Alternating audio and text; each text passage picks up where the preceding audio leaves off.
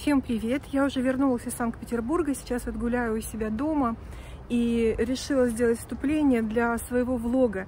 Кстати, впервые записываю влог, буду публиковать влог. Буду рада вашим комментариям, заходит такой формат или нет. О чем расскажу в этом влоге? О своих эмоциях, о своем впечатлении от Питера.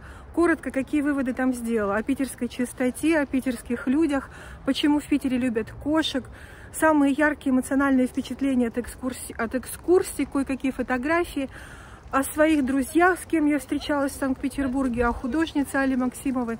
Расскажу о том, где я жила, ну, примерно покажу, где я жила, какой там пейзаж. Ну, и в конце расскажу немножко о том, что такое овердрафт. Я попала в ситуацию в Новосибирске. И расскажу, как себя обезопасить от этой ситуации. Ну, а коротко, как обезопасить, это просто, попросту нужно регистрироваться онлайн заранее, как только возможно будет эта регистрация, то есть для путешественников на самолете. Смотрим. Сегодня у меня будет вот такое необычное видео в формате влога. Я хочу рассказать немножко о своей поездке в Санкт-Петербург. Вот сегодня буквально выбрала несколько минут, чтобы поговорить с вами. Знаете как, приехала сюда, скажем так, к своей сестре, она здесь временно живет, и со старшим, с младшим сыном. Рассказывала уже, что шила для этого вот спортивные костюмы из футера. Мы в них здесь гуляли очень много. Сегодня мы пошли погулять по этому парку. Вот здесь очень красиво. Такая прям красота неописуемая какая-то. Вот э, за душу трогает. Погода хорошая, ну, конечно, это уже осень, глубокая осень, очень красиво. Вот здесь, кстати, не видно этих кленов золотистых, они с другой стороны аллея кленовая осталась. Ну, в общем, я к чему это веду, что такие вот, ну, такая красота визуально вот здесь вот природы. Сейчас еще хочу поделиться своим ну, впечатлением про костюм. Про костюм сейчас будет такая вкладочка – про свой костюм не буду особо рассказывать, потому что что про него рассказывать? В нем здесь гоняют, ткань себя ведет прекрасно, фасонный, все устраивает. Очень ловко получилось, что он с капюшоном, то есть вот по всяким там метро можно вот так надеть капюшон и не задувает, даже затянуть можно веревочку, если горловину, горло задувает. И мы в этом, как бы вот во всем этом гуляем. Конечно, иногда даже я там на воде одевала шапку, чтобы не было так холодно. Сшила костюм сыну, и сейчас вот я даже записала где-то отдельный фрагмент, пока мы были на экскурсии в Царском селе. Покажу во фрагменте, как он выглядит, ну вот просто подробно, подробнее. Я хочу сейчас показать костюм, который я шила сыну для поездки в Санкт-Петербург. Вот мы сейчас в Царском стиле, селе, есть несколько минут на свободную прогулку, вот я решила записать это видео. Костюм, ну, как видите, из футера трех нитки, красивого цвета, да. Что интересно, ну, повернись кругом. Ничего особенного, спущенное плечо, достаточно объемный оверсайз. Внизу на штанах манжеты, покажи, Серега, манжеты. Вот они, манжеты из кашкарсе, карманы, на животе карман, вот на куртке, на, на свитшоте, на худи карман. В брюках тоже карманы. Покажи в брюках карман какой. Обыкновенный. Ну, серединочку, нет, маленько так приподними кофту, чтобы было видно, какой карман. Ага, вот он кармашек. В шве. Ну что еще показать? На животе карман на кенгуру показали. Кстати, у меня на канале есть полный, ну как бы мастер-класс, как шить такой карман кенгуру. Вот такой капюшон классно, со стойкой впереди, да. Если затянуть вот веревку, то не продувает горло. Ну, костюм, конечно же, оверсайз такой. Ну, вот такой костюм костюме очень оказалось комфортно и удобно ходить по, на, на всевозможные экскурсии, потому что трехниткой не продувает. Такое ощущение, что он даже и не промокает, потому что мы ходили под дождем, даже без зонта, просто накинув капюшоны. Но дождь здесь какой-то нам попал моросящий. Я сама, потому что в таком же костюме, и это было очень комфортно, очень приятно, как бы ветер, кажется, не продувает. Но тут погода, надо сказать, 7-10 градусов. То есть вот в такую погоду мы гуляем в спортивных костюмах. Надеваем еще иногда спортивные, эти синтепоновые жилеты. Ну и да, еще шапки, иногда снуды. Вот такую красоту мы сегодня лицезрели. Ну, знаете, самое такое главное впечатление, наверное. Я в Питере первый раз, впервые вообще, и сравнивала, конечно же, со столицей, с Москвой. В Москве я была очень много раз. Как-то так сложилась вот моя судьба. В Москву ездила по разным таким нуждам, рабочим, учебным. и просто погулять с семьей, скажем так, в Москву. А вот в Питер ни разу не сложилось. И я, конечно, ехала сюда, в Питер, с такой мыслью, как это все устроено. Ну, в общем, ожидала увидеть город столичный. И у меня такое вот первое впечатление о людях. Люди здесь в целом, ну, я не знаю, как это сформулировать, добрее, что ли, мягче, менее контрастные, чем в Москве, скажем, даже менее, чем у нас в Красноярске. Ну, что, что я имею в виду? Ну, знаете, вот как вот заходишь в метро, например, а в метро обычные люди. Нет таких вот особо, ну, скажем так, фриков нет, нет каких-то вызывающих особ. И даже вот прогулки по, ну, вот по похождению все по самому Питеру, ну, тоже люди поющие, скажем, музыканты на улице. Это обычные музыканты. Ну, то есть, люди, ну, как сказать, вот у меня не было такого ощущения, что а, что-то такое вот из ряда вон выходящее. Хотя в Москве вот люди всевозможные встречались. Люди здесь более такие рав... равномерные, что ли. Вот, вот такое слово. Что еще, как бы впечатление какое? Конечно, Питер – это история России. Вот в Москве, ну как бы Москву, видите, говорю уже давно, как много раз там была, много впечатлений. Ну, от Питера была тоже поражена вот тем, что идешь по улочкам, надписи по на улицах, не знаю, улицы все эти Маховая, Соляная, там какие-то Поварская, Лиговская, все это в песнях, в каких-то исторических книгах, все это встречается, и это тоже трогает. Хочется приехать теперь домой, покопаться в книгах, в интернете, поизучать, как это все устроено. Мы были, вот сразу расскажу, где мы были. Мы были на экскурсии в Царском селе, мы посетили три собора, Казанский собор, Исаакиевский собор и Спас на Крови. Мы съездили в Петропавловскую крепость, погуляли по острову, посмотрели панорамную какую, вот эту картину Санкт-Петербурга. И я потратила день, ну даже, наверное, полтора дня мы с сыном ходили по, по центральным улочкам, ну, скажем, от Невского проспекта к Неве шли туда, до станции Маяковской, до станции, по-моему, Чернышевская станция, да, туда. Мы шли по навигаторам, у нас там были какие-то цели, у сына посетить магазинчик, какой-то гриб-тип, по-моему, если я не путаю. Ну, в общем, не, не, не в этом суть, я к тому, что мы погуляли. Вот я посмотрела архитектуру, именно живую Питера, как это все устроено. Я под впечатлением. Мы заходили, проходили сквозные какие-то, у нас были маршруты. Мы шли по навигатору, Яндекс навигатору по телефону, в телефон, в смартфоне. И, скажем так, изнутри эти дворики удалось посмотреть. Впечатление, конечно. Ну, я не знаю, как сказать, ретро-архитектура такая, когда видела в фильмах, ну, в фильмах это одно, как бы теоретически я так представляла, как это все устроено. Вот сейчас посмотрела, впечатлилась. Ну, еще раз повторю, что второй пункт, который вот меня тоже трон, тот тронул в Питере, это архитектура, история. То есть, что история России здесь, она вот она на, на глазах, скажем. Что еще хочу сказать? Впечатлили цены. Ну вот, конечно же, меня сейчас уже спрашивают, как там цены.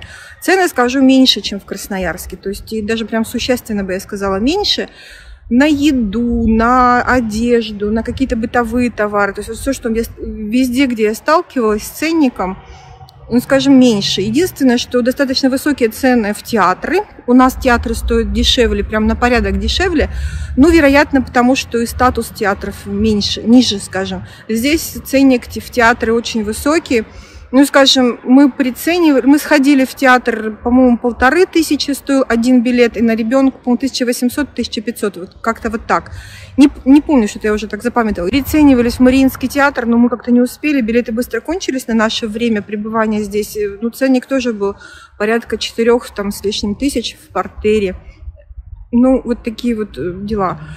На экскурсиях цены реальные, я бы сказала, и везде есть скидки на детей, что тоже приятно. Вот я с ребенком ходила, с сыном.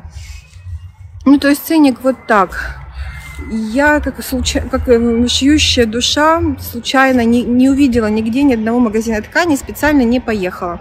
Искать не стала, думаю, ну вот не травить душу, чтобы чего-нибудь не купить. Не попалась мне. Но под впечатлением впечатлилась, например, тем, что увидела например, ну как вот со стороны, с позиции шьющего человека, увидела такие рекламные витрины. У нас, скажем, в городе вообще ни одной такой не было витрины. Это куклы трепишные, крупные, сшитые и рекламируют, ну вот разные. Где-то встретилась чайная, где-то встретилась, по-моему, в книжном каком-то одном магазине, в витрине сшитые куклы. Ну вот тоже так интересно, думаю, ничего себе, вот заморачиваются же люди. Но не сфотографировала, не успела как-то. И сейчас вот хочу прям добавить, прям разглядывала, когда была на экскурсии в Царском селе, кстати, прошитое платье императрицы. Ну вот сейчас ставлю кусочек.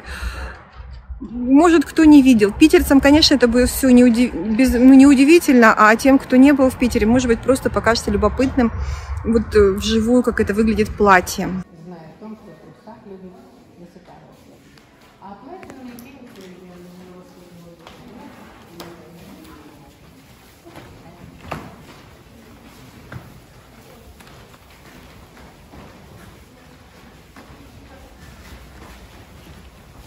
Еще что хочется сказать, что мне Питер очень понравился вот в плане того, что для туристов все очень понятно, очень безопасно, очень комфортно. Вот чисто для жизни, скажем, ну это прям прекрасное вот место быть туристами здесь.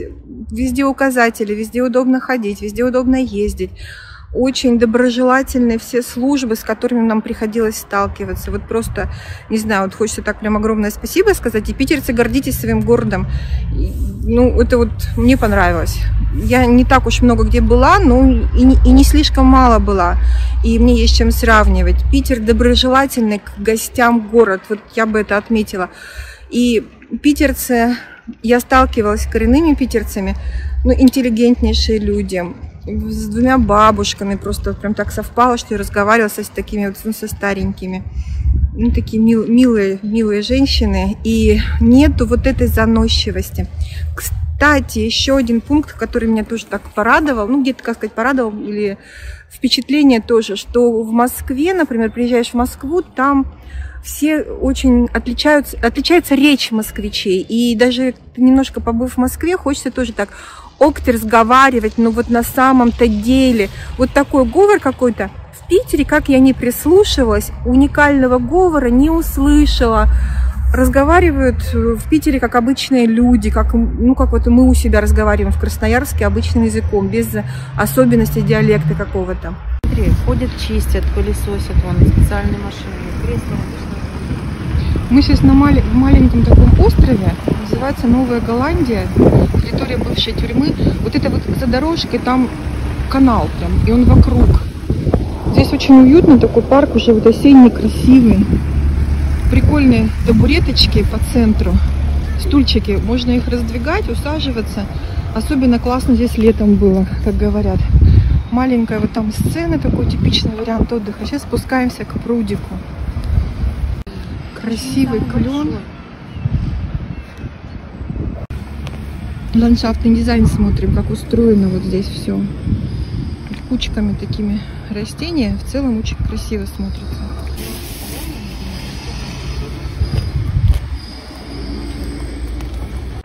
Еще что хочу сказать. Сейчас, наверное, кошечку вставлю сюда, картинку. Вот мы сейчас гуляем по парку, и даже в парке встречаются кошки. Я уже молчу, что ну, конечно, в парке будут собачники со своими собаками, но и кошки, кошки, кошки везде. И я, конечно, в книжке читала перед этим, какое значение имеют кошки для Питера и почему питерцы любят кошек. Но когда я приехала сюда, да, я понимаю, картинки, везде продают эти платки с кошками, всевозможные сувениры с кошками. Это есть. Но когда я увидела просто кошек везде, вот в доме, в котором мы жили, во дворе я видела, наверное, штук 6 или 7 кошек. Мы наблюдали за одной кошкой. Мы приехали в музей блокады Ленинграда, и так совпало, что мы не обратили внимания, что последняя среда месяца выходной день, и мы, оказывается, зря приехали ну, как к закрытым дверям. Ну, мы посидели, сели на скамейку, решали, куда мы идем дальше – и к нам подошла черная-черная кошка. Я ее, правда, не сфотала, но меня она так вот, ну, как сказать, тронула душу тоже. Черная кошка, важная, с ошейничком. На нем было написано «Меня зовут Черника». И телефон «Позвоните хозяевам». Мы подумали с сыном, звонить, не звонить хозяевам. Ну, не стали, решили понаблюдать. И потом увидели, что эта кошка подошла к дверям. Ну, вот дом, вот это здание было музея. Она перед музеем посела. Первый вышедший человек оттуда приоткрыл дверь, запустил ее. Ну, то есть я для себя такой вывод сделала, что человек, когда открывал дверь, он посмотрел, есть ли кошка увидел кошку и запустил туда кошку внутрь дома. То есть это так отлаженный процесс, то есть такое уважительное отношение к кошкам. На всякий случай проговорю, вдруг кто не знает эту историю с кошками, что во времена блокады, в период блокады Ленинграда, жители поели в том числе и кошек, и началась просто катастрофа, потому что крысы, крысы стали бедствием. И всевозможными путями как стали снова кошек завозить в город. И когда восстановление Ленинграда шло, то кошки были просто спасателями, а они, потому что крысы уничтожали в том числе и запасы продуктов. Поэтому вот кошки это просто помогли выжить людям. И с тех пор, хотя прошло уже, посмотрите, сколько лет, с тех пор вот в памяти людей остались, вот осталось такое трепетное отношение к этим кошкам, к их пра-пра-пра-пра-пра матерям и отцам. Ну, вот такие дела. Маленькая картиночка, зарисовка из Питера. Магазин одежды свободных женщин. Меня восхитило просто название. И когда подошла поближе, вот что увидела в витрине, ну то есть э, у меня ассоциация со свободными женщинами немножко другая, а здесь походу, что одежда для полных женщин. Ну вот такие вот приятности из Питера так что, девочки, бьем, шьем для себя одежду свободную и считаем себя свободными женщинами. Это прекрасно.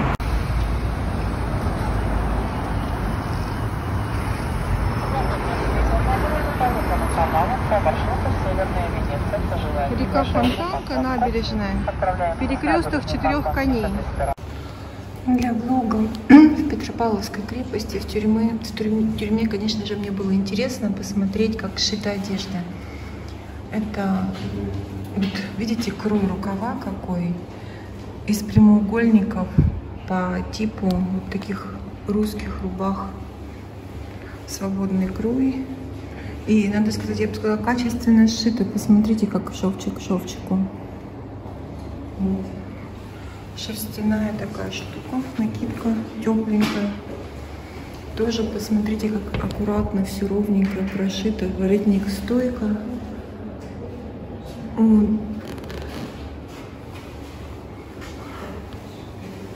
А это с длинными рукавами ну, для узников, конечно.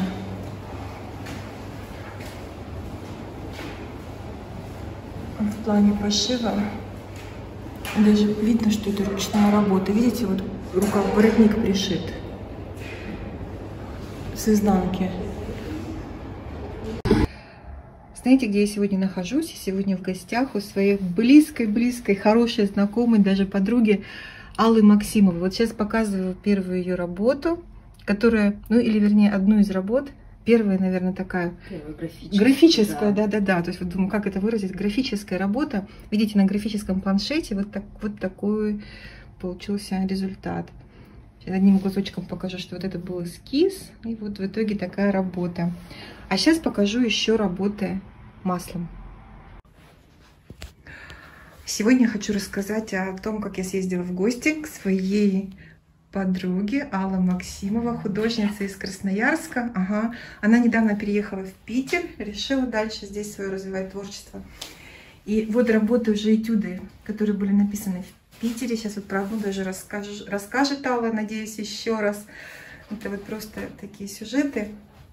Алла, ну давай. А какой ты хочешь, чтобы я про бутылочку. Про бутылочку. Да, дубль два. Давай тогда я отсюда с ней. Да, Ну, на самом деле... Безумно понравилась эта работа, она такая... Музыкант зовут Федор, если я не ошибаюсь. Вот, а это местная такая звезда, и он играет на бутылках. Э, это очень красивое звучание. А, такое звонкое, мелодичное, и когда рядом стоишь, такой просто, просто восторг. Вот. Mm-hmm. И вот за два часа, два или три часа, которые я провела рядом с ним, я делала да. mm-hmm. зарисовки и вот так вдохновилась, что заказала холст и написала картину. Классно. Вот, да. Вообще я хочу сделать серию картин, подсмотрено в Питере будет называться, где а, будут люди которые меня вдохновляют. А, наверное, тот поток, который идет через них во время творчества, неважно, что это музыка или поэзия, или, может быть, вообще какая-то другая деятельность. И вот а, именно вдохновленные людьми, вот какие-то, чтобы картины, такая серия появилась. Классно. Такое питерское явление бутылка фон.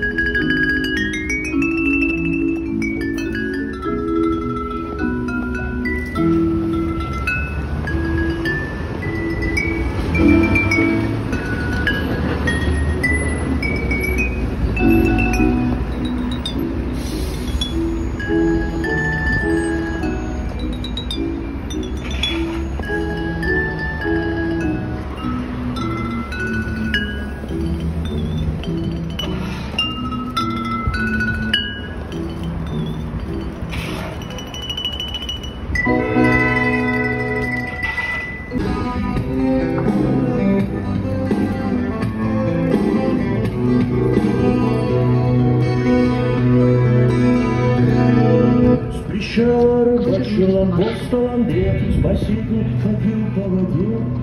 Любви доставалось воды скорее, спаситель погибших людей. И Андрей закричал, я покину причал, следы мне откроешь секрет. Спаситель ответил, спокойно, Андрей, никакого секрета здесь нет. И что на горе возвышается крест, под ним с десяток солдат повиси-ка на нем, а когда надоест, возвращайся назад. Гулять по воде, гулять по воде, гулять по воде со мной.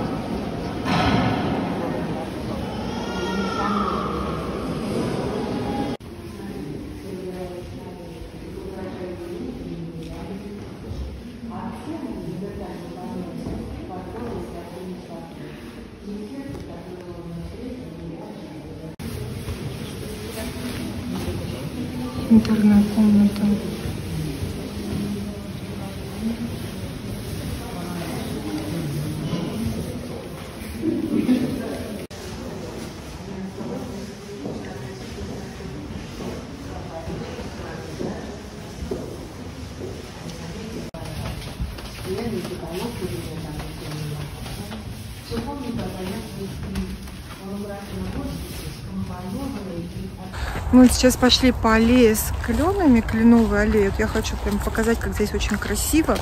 И пока шла еще, подумала, еще один факт хочу про Питер проговорить. Впечатление, которое меня осталось от Питера. То, что здесь очень чисто все. У нас в Красноярске вот совсем по-другому все. Знаете, как бы какую чистоту имею в виду. Вот приходим с улицы, обувь чистая. Мы, например, прибираем в квартире, нет пыли на подоконниках, и в том месте, где мы живем, очень чисто. Настолько чисто, что, простите, мы неделю полы не протирали, не мыли, и все было очень комфортно. В воздухе чисто, скажем, руки чистые, одежда, вот особенно манжеты на вещах. Ну, про обувь я уже сказала, листопад, да. Видим-видим листопад. То есть вот это прям питерцы цените, что вот так у вас есть. Может быть, из благодаря каналам, может быть, благодаря просто тому, что у вас отопление на газе, у нас оно на угле, и поэтому грязище. Ну, в общем, мне очень понравилось в Питере. Я думаю, что мы сюда вернемся еще по пути, как э, туристами, может быть, через полгодика. Хочу рассказать, мы попали в ситуацию овердрайв когда авиакомпания продала билетов больше, чем фактических мест. Мы бронировали заранее рейс из Питера в Красноярск с, посадкой в Новосибирске. И по факту получилось так, что в Новосибирске нас не зарегистрировали, не, не дали посадочные талоны, вернее, их дали без мест. В итоге авиакомпания сильно извинялась. Вот хочу просто рассказать, как это все выглядит нас в Питере, нам в Питере не выдали посадочных мест и сказали в Новосибирске все будете решать. В Новосибирске сказали, что мест нет, перерегистрируем на ближайший вылет. Их компании, ближайший вылет, э, вот должно, мы должны были вылететь в 9 часов, ближайший вылет будет в 5 часов, в 5, в 5.25, по-моему, в половине шестого. По итогу компания в качестве извинения предложила нам в гостиницу на это время, вот на 8 часов получается, на, даже не на 8, на, на, на 6 часов. Да, предложила нам завтрак, обед и сертификат на 2500 на каждого человека, который можем потратить в этой компании на багаж, на билеты на полет в течение года. Вот такая история. Так что на этом, наверное, буду заканчивать. Всем пока-пока.